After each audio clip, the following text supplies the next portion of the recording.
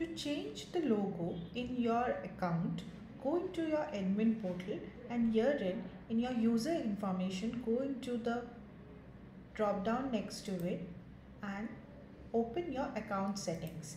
When you select the same, you will get the settings related to your account and you'll get an option underneath of upload store logo.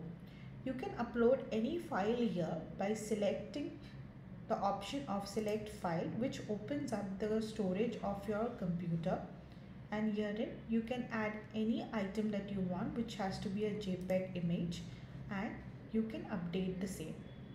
Please note that this file has to be a size which is less than 2.5 MB and once you update it here the logo will get uploaded in your account. It will also reflect in your account here and it will reflect in your pricing quotations and other outputs as well.